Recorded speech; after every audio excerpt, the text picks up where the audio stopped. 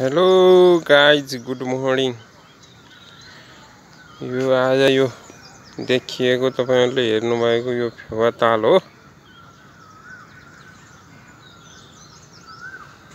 पारिपट्टि रानीवन चराचुरुङ्गीहरू कराइरहेका छन् सुन्दर।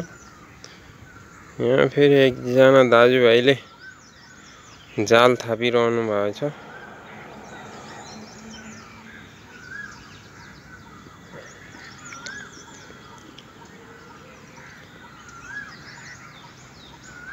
जालमा कति माछा परे होलान् जाल उठाइरहनु भएको।